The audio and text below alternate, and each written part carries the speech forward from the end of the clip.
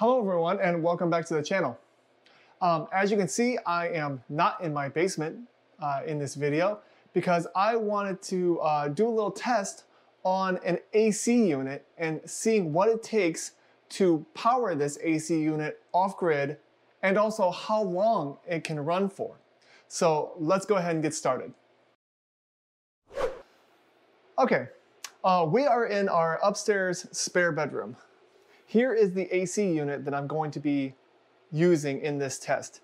Uh, let's go ahead and check it out.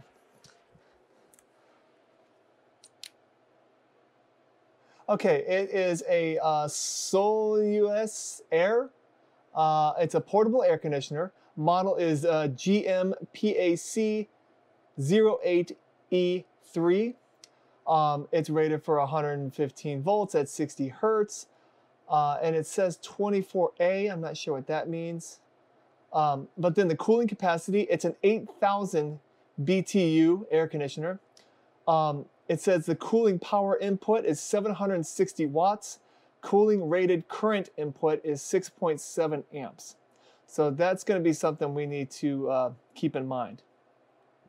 Uh, and then it shows the high and low side pressures, the weight, the isolation. If that stuff makes sense to you, uh, that's great, uh, but I really don't care about it. All I care about are these numbers right here. So yeah, if you want to know more about this, I would probably just do a Google search on this. This air conditioner was actually given to me by my parents. Um, so thank you so much, mom and dad, for this. Um, it has come in handy more times than you can ever count. So thank you. Uh, but here are the inverters that we're going to be using in this test. First, we have a 500 watt inverter. Uh, it is, uh, you know, pretty cheap. Uh, it's it's not going to power that unit. I I know for a fact it's not going to, but I want to hook it up to a battery and just kind of show you what will happen. Next, we have the ALFFAA 1500 watt inverter. This may do it um, because on that unit it did say that it will only draw 670 watts. But the startup wattage is what I'm concerned about. This might not be able to pull that. So then after that, we have the 2000 watt LEESKY inverter. This inverter should have enough power to start up this air conditioner and, and keep it running. If not, we will go with the uh, we will go with the MX Moonfree 5000 watt inverter. I didn't bring it up here because I don't think we're gonna need it. The battery that we're gonna be using is the SOK 12 volt, 100 amp hour uh, lithium iron phosphate battery. This should be able to do it. The reason I'm picking this battery is because it does have Bluetooth, uh, which I can monitor on my phone. So that way we can see the power draw and uh, be able to see the, the depth of discharge that this battery takes. Uh, and currently right now I am actually charging this battery because I want to get it up to 100%. Uh, and so I'm using the, uh, the Haisito 20 amp charger. The battery says it's at 93%, so we're gonna let that get up to 100 before we start this test. I have a clock right here with an indoor temperature gauge, and right now it is 82.9 degrees in this room. The reason for that is because I'm actually heating this room with this heater because it's actually beautiful outside. I think it's uh, 65 degrees outside and sunny. So um, I had to use this heater to heat this room up. So once we start the test, uh, my plan is I'm gonna turn this heater off because I want to mimic if your power goes out and it's really hot outside, um, you know, your room will heat up pretty quick. So I wanted to get this room pretty warm. Um, I do understand that because it's not that hot outside, you know, this test is a little skewed on that because the outdoor heat isn't going to be heating this room. Uh, it's only going to be artificially heated by this heater, which I will be turning off when I start this test.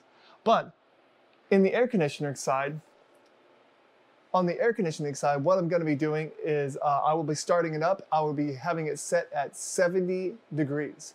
And I'm going to try to keep this room at 70 degrees. And I want to see how long I can keep this room at 70 degrees. So that's going to be the test. The test is going to be what it takes to power it, what it takes to turn it on, and then how long a 12 volt battery will keep this room at 70 degrees.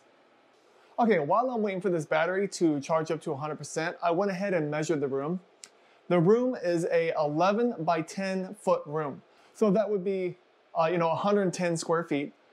Uh, and it's got eight foot ceilings. So we're talking a 880 cubic foot room. All right, well, our SOK battery is all charged up now. So let's go ahead and uh, hook it up to the 500 watt inverter and see what happens. Okay, so we have our 500 watt inverter uh, connected to the battery. We have uh, our extension cord going to a uh, watt meter right here so we can so we can maybe see uh, pretty much the highest wattage draw that it does. And uh, let's go ahead and plug in the air conditioner and just see see what happens. Also, it's 86.7 degrees in this room. Hi guys. All right. All right. It the air conditioner beeped, so let's go ahead and turn it on.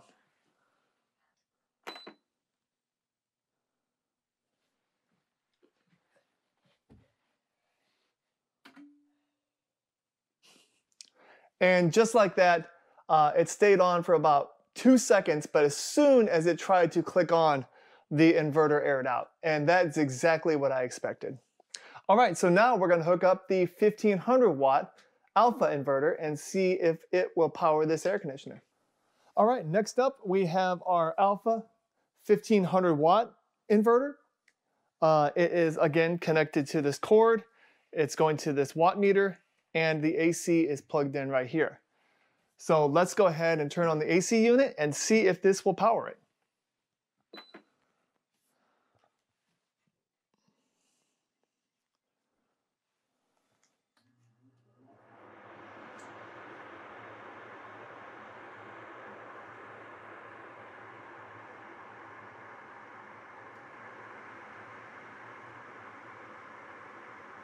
All right, it's uh, it's actually blowing air, uh, but it's only blowing at 90. It's only it's only powering 90 watts right now. So I want to wait until it actually clicks on the condenser inside the air conditioner to make sure that it will work. The temperature in this room right now is also 85.2. The, and the AC has not kicked on yet.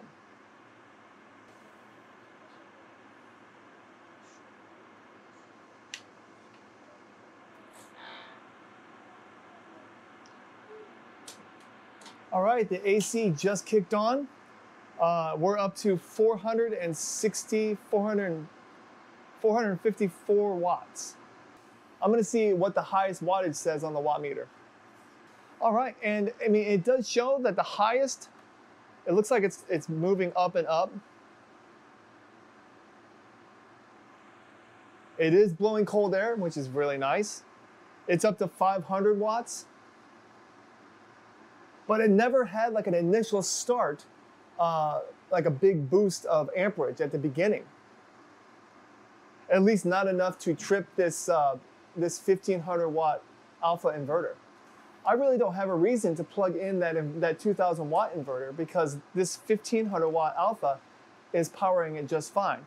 So what we're gonna do is we're just gonna let this run and we're gonna see how long a 100 amp battery will, will uh, keep this room cool. But just by looking at this right here, it's now using 574 watts. Um, it looks like we're only going to get maybe two hours out of this battery. Uh, and also, I wanted to show you the uh, the app on the SOK battery. So let's go ahead and pull it up right over here. And uh, as you can see, the voltage is 12.93. Um, and it is currently pulling 52 amps out of this battery. So if you multiply those together,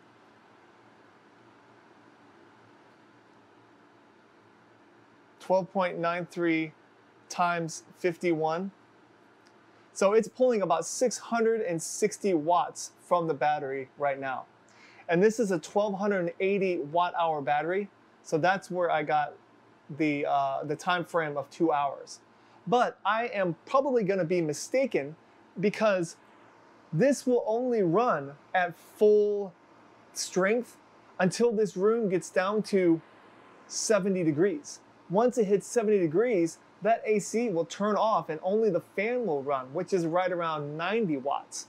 So this may run for three or four hours. So we're gonna find that out.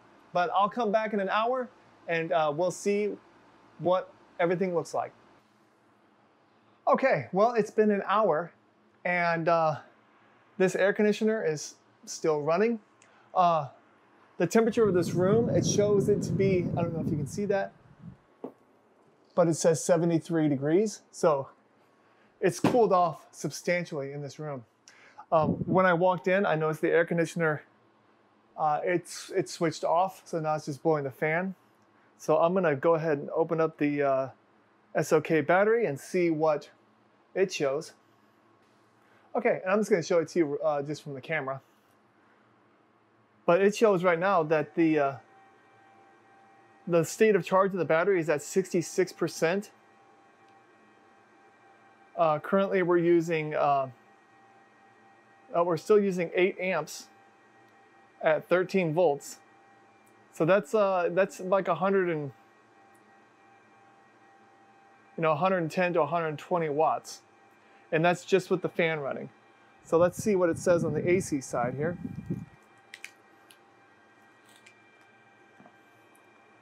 On the AC side, uh, let's see.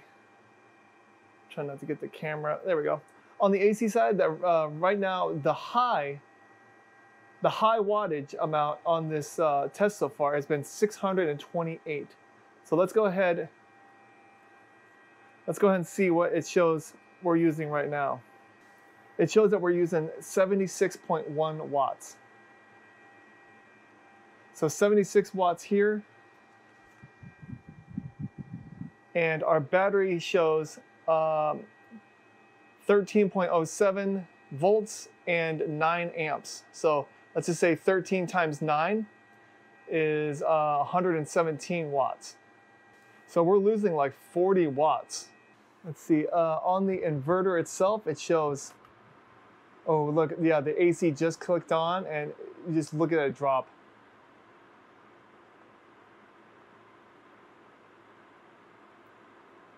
It shows that it's 113 volts and it's using 4.5 amps from the inverter. Let's see what this says. Okay, the meter. Uh, the voltage, it says 111.4. So it's pretty close to the inverter. The inverter says 112. And the amperage says 4.7. So yeah, this, this and this are showing the exact same amounts. Okay, so yeah, after an hour, you know, we're down to 65% battery life, but the room, I think, is, uh, you know, around 70 to 72 degrees. So this air conditioner behind me is going to be clicking off and on. And so I bet that we get another two hours out of it. But I'll come back in an hour and we'll see where our state of charge is at our battery. All right, well, we're back here after two hours of this uh, air conditioner running on this uh, 12 volt, 100 amp hour lithium iron phosphate battery.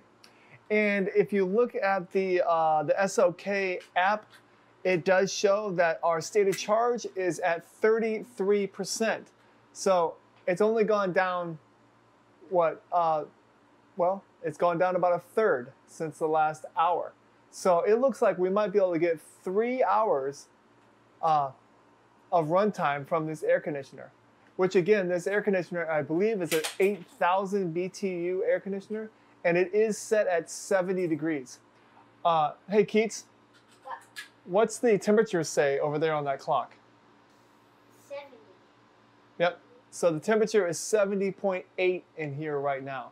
So the air conditioner is keeping this room nice and cool and I'm hoping we can get another hour out of it. So I will come back in uh, 45 minutes and we'll see where we're at. Okay, well, it's been another 45 minutes, and when I walked in, it was pretty quiet in here. Um, the inverter shut off, the battery, I'm guessing, is dead. We'll look at the app, but yeah, everything has been shut off. And it probably wasn't too long ago because the temperature in this room is still 70.6. But luckily,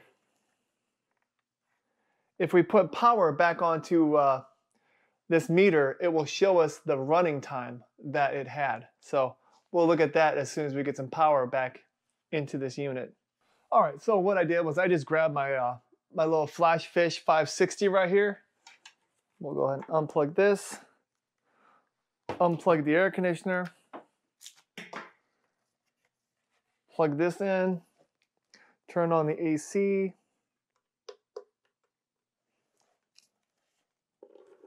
plug in our meter. And our meter shows, can't really read that very well, but the meter shows three hours and four minutes. That's the amount of, uh, that's the amount of uh, time that the air conditioner was running. So that's, that's about an hour more than I thought it would because it, I mean, you gotta remember, it was 80 I think it was 87 degrees in here. It was either 85 or 87, but it was 85 degrees in here. It cooled it all the way down to 70 and it kept it at 70.